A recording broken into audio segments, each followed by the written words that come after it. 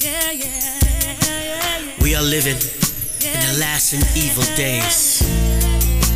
But it's my decision to hold on to the Lord and His promise that if we walk with Him, we will one day see His face.